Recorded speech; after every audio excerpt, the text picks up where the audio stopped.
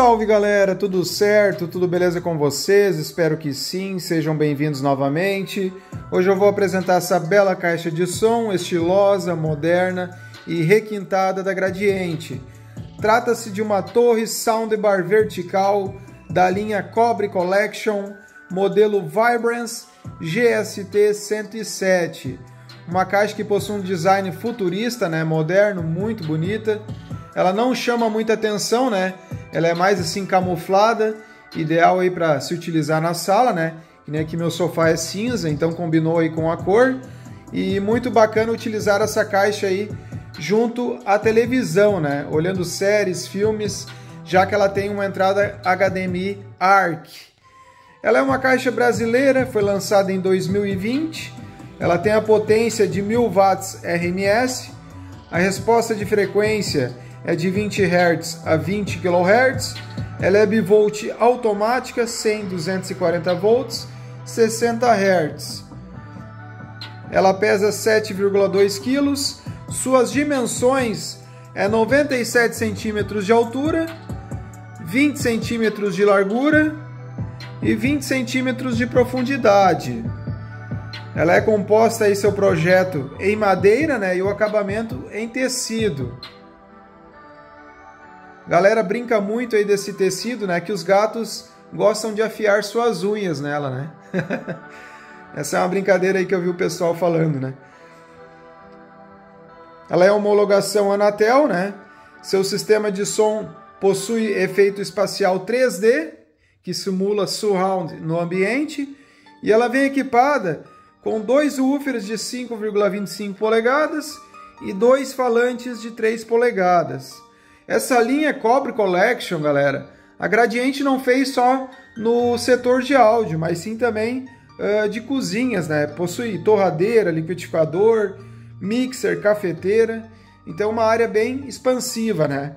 O valor dela na época nova era de 810 reais a 1.100 reais, galera. Essa é uma caixa que eu paguei 500 reais, semi-nova, está em ótimo estado. Possui aqui o manual, o termo de garantia e o controle remoto.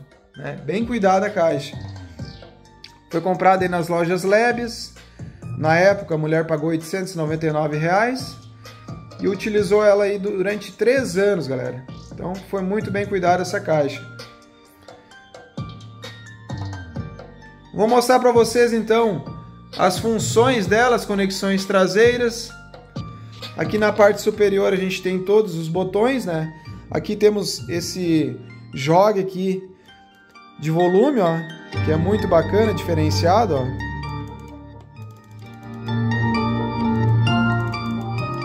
Aqui a gente tem a tecla Power, aqui a gente tem a tecla Source, onde a gente seleciona as funções. Aqui Play e Pause. Aqui a gente regula os graves. Ó, vai do menos 6 ao mais 6. Aqui retrocede, avança as músicas. Aqui os agudos, que também vai do menos 6 ao mais 6. Então, muito importante essa regulagem aqui. Olha só o som destacado, de qualidade, claro, né?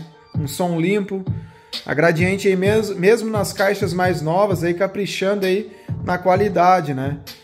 Tem muitas caixas aí, Xing Ling e outras marcas aí que não chegam aos pés dessa aqui, galera. Olha só esse acabamento aqui, ó, em tecido. Muito bacana, né? Imita um carpete. Muito requintada. Aqui na parte de baixo, ó, tem esses quatro pezinhos de plástico para não ficar direto exposta no chão, né? Aqui ela tem esse detalhe, esse acabamento aqui na cor cobre, porém creio eu que é um plástico, galera. Aqui também, no jogo de volume e na tecla Power, ó. Tudo combina aqui, ó. E muito bacana é que essa caixa aqui em cima, na parte do, das funções, ela não é black piano, galera. Ela é um preto mais fosco, ó. Então isso não, não fica aquelas marcas de dedos chatas, né? E também não aparece muito poeira, né? Então essa é uma parte legal desse design dela. Aqui na parte de trás, a gente tem aqui as conexões, né? Uma porta HDMI ARC, uma porta USB e uma entrada ótica. E aqui a gente tem uma entrada RCA, né, para a gente ligar um telefone, um DVD, qualquer aparelho externo, né. Aqui a gente tem a tomada de energia removível, né, para facilitar o seu transporte.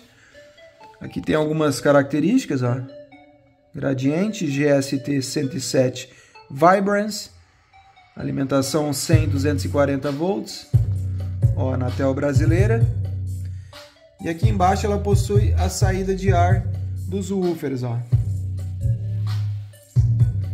Então muito bacana, é uma caixa mais discreta, né? Ela não chama muita atenção, não tem aqueles LEDs extravagantes aí que as outras torres têm, né?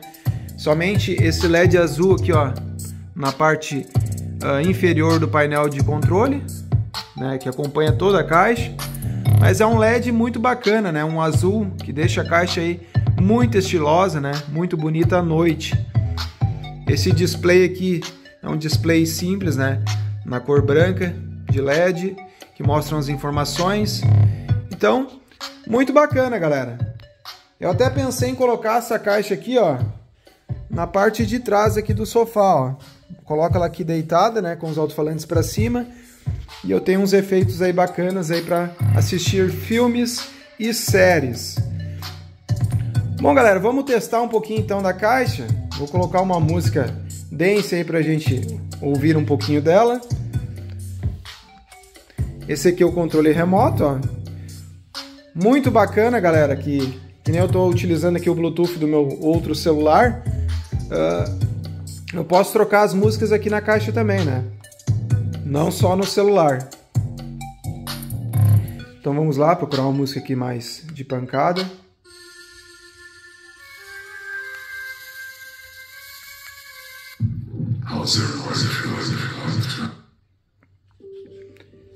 Essa aqui, galera, essa aqui eu gosto de testar as caixas de som.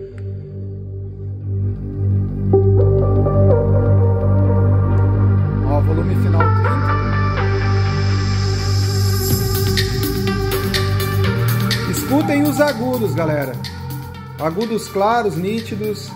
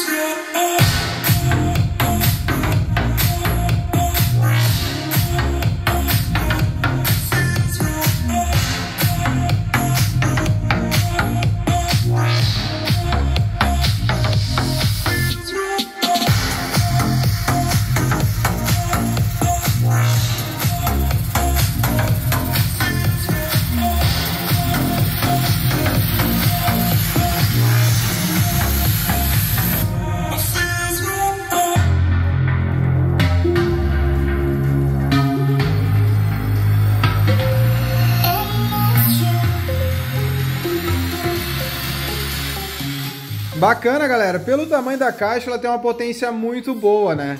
Mas não creio aí que ela tenha realmente os 1000 watts RMS. Não sei se chega perto disso. Mas pelo tamanho, né, como eu falei, pelos alto-falantes, ela possui quatro alto-falantes, tá muito bom o seu desempenho, né? Uh, eu coloquei os graves no máximo, né, no mais 6, agudos no mais 6. E aí na finaleira, depois do volume 24, ela começou a dar uma leve distorcida. Não é aquela distorcida chata, galera, mas a gente escuta.